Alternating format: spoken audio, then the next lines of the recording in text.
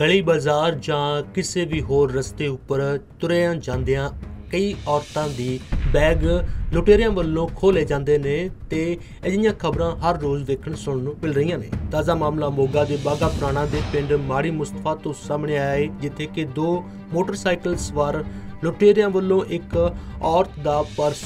ਖੋਲਿਆ ਗਿਆ ਤੇ ਇਹ ਪੂਰੀ ਵਾਰਦਾਤ ਸੀਸੀਟੀਵੀ ਕੈਮਰੇ ਦੇ ਵਿੱਚ ਕੈਦ ਹੋ ਗਈ। ਦਰਅਸਲ, ਇੱਕ ਔਰਤ ਵਕੀਲ ਅਦਾਲਤ ਦੇ ਰਸਤੇ ਤੋਂ ਵਾਪਸ ਪੈਦਲ ਆਪਣੇ ਘਰ ਜਾ ਰਹੀ ਸੀ ਤੇ ਉਸ ਮੌਕੇ ਦੋ ਮੋਟਰਸਾਈਕਲ ਸਵਾਰ ਪਿੱਛੇ ਤੋਂ ਆਏ ਤੇ ਉਹਨਾਂ ਤੁਰੀ ਜਾਂਦੀ ਔਰਤ ਵਕੀਲ ਦਾ ਬੈਗ ਖੋਲਿਆ ਤੇ ਫਰਾਰ ਹੋ ਗਏ ਤੇ ਸਾਰੀ ਘਟਨਾ ਸੀਸੀਟੀਵੀ ਕੈਮਰੇ ਵਿੱਚ ਕੈਦ ਹੋ ਗਈ ਹੈ ਤੇ ਪੁਲਿਸ ਵੱਲੋਂ ਇਸ ਦੀ ਗੰਭੀਰਤਾ ਨਾਲ ਜਾਂਚ ਸ਼ੁਰੂ ਕਰ ਦਿੱਤੀ ਗਈ ਹੈ।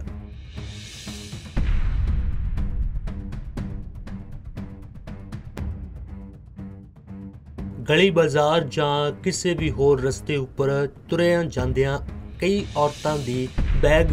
ਲੁਟੇਰਿਆਂ ਵੱਲੋਂ ਖੋਲੇ ਜਾਂਦੇ ਨੇ ਤੇ ਅਜਿਹੀਆਂ ਖਬਰਾਂ ਹਰ ਰੋਜ਼ ਦੇਖਣ ਸੁਣਨ ਨੂੰ ਮਿਲ ਰਹੀਆਂ ਨੇ। ਤਾਜ਼ਾ ਮਾਮਲਾ ਮੋਗਾ ਦੇ ਬਾਗਾ ਪੁਰਾਣਾ ਦੇ ਪਿੰਡ ਮਾੜੀ ਮੁਸਤਫਾ ਤੋਂ ਸਾਹਮਣੇ ਆਇਆ ਹੈ, ਜਿੱਥੇ ਕਿ ਦੋ ਮੋਟਰਸਾਈਕਲ ਸਵਾਰ ਲੁਟੇਰਿਆਂ ਵੱਲੋਂ ਇੱਕ ਔਰਤ ਦਾ ਪਰਸ ਖੋਲਿਆ ਗਿਆ ਤੇ ਇਹ ਪੂਰੀ ਵਾਰਦਾਤ ਸੀਸੀਟੀਵੀ ਕੈਮਰੇ ਦੇ ਵਿੱਚ ਕੈਦ ਹੋ ਗਈ ਦਰਅਸਲ, ਇੱਕ ਔਰਤ ਵਕੀਲ ਅਦਾਲਤ ਦੇ ਰਸਤੇ ਤੋਂ ਵਾਪਸ ਪੈਦਲ ਆਪਣੇ ਘਰ ਜਾ ਰਹੀ ਸੀ ਤੇ ਉਸ ਮੌਕੇ ਦੋ ਮੋਟਰਸਾਈਕਲ ਸਵਾਰ ਪਿੱਛੇ ਤੋਂ ਆਏ ਤੇ ਉਹਨਾਂ ਤੁਰ ਜਾਂਦੀ ਔਰਤ ਵਕੀਲ ਦਾ ਬੈਗ ਖੋਲਿਆ ਤੇ ਫਰਾਰ ਹੋ ਗਏ। ਤੇ ਸਾਰੀ ਘਟਨਾ ਸੀਸੀਟੀਵੀ ਕੈਮਰੇ ਵਿੱਚ ਕੈਦ ਹੋ ਗਈ ਹੈ ਤੇ ਪੁਲਿਸ ਵੱਲੋਂ ਇਸ ਦੀ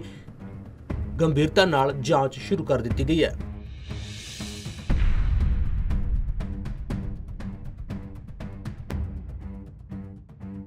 ਗਲੀ ਬਾਜ਼ਾਰ ਜਾਂ ਕਿਸੇ ਵੀ ਹੋਰ ਰਸਤੇ ਉੱਪਰ ਤੁਰਿਆਂ ਜਾਂਦਿਆਂ ਕਈ ਔਰਤਾਂ ਦੀ ਬੈਗ ਲੁਟੇਰਿਆਂ ਵੱਲੋਂ ਖੋਲੇ ਜਾਂਦੇ ਨੇ ਤੇ ਅਜਿਹੀਆਂ ਖਬਰਾਂ ਹਰ ਰੋਜ਼ ਦੇਖਣ ਸੁਣਨ ਨੂੰ ਮਿਲ ਰਹੀਆਂ ਨੇ। ਤਾਜ਼ਾ ਮਾਮਲਾ ਮੋਗਾ ਦੇ ਬਾਗਾ ਪੁਰਾਣਾ ਦੇ ਪਿੰਡ ਮਾੜੀ ਮੁਸਤਫਾ ਤੋਂ ਸਾਹਮਣੇ ਆਇਆ ਹੈ, ਜਿੱਥੇ ਕਿ ਦੋ ਮੋਟਰਸਾਈਕਲ ਸਵਾਰ ਲੁਟੇਰਿਆਂ ਵੱਲੋਂ ਇੱਕ ਔਰਤ ਦਾ ਪਰਸ ਖੋਲਿਆ ਗਿਆ ਤੇ ਇਹ ਪੂਰੀ ਵਾਰਦਾਤ ਸੀਸੀਟੀਵੀ ਕੈਮਰੇ ਦੇ ਵਿੱਚ ਕੈਦ ਹੋ ਗਈ। ਦਰਅਸਲ, ਇੱਕ ਔਰਤ ਵਕੀਲ ਅਦਾਲਤ ਦੇ ਰਸਤੇ ਤੋਂ ਵਾਪਸ ਪੈਦਲ ਆਪਣੇ ਘਰ ਜਾ ਰਹੀ ਸੀ ਤੇ ਉਸ ਮੌਕੇ ਦੋ ਮੋਟਰਸਾਈਕਲ ਸਵਾਰ ਪਿੱਛੇ ਤੋਂ ਆਏ ਤੇ ਉਹਨਾਂ ਤੁਰ ਜਾਂਦੀ ਔਰਤ ਵਕੀਲ ਦਾ ਬੈਗ ਖੋਲਿਆ ਤੇ ਫਰਾਰ ਹੋ ਗਏ ਤੇ ਸਾਰੀ ਘਟਨਾ ਸੀਸੀਟੀਵੀ ਕੈਮਰੇ ਵਿੱਚ ਕੈਦ ਹੋ ਗਈ ਹੈ ਤੇ ਪੁਲਿਸ ਵੱਲੋਂ ਇਸ ਦੀ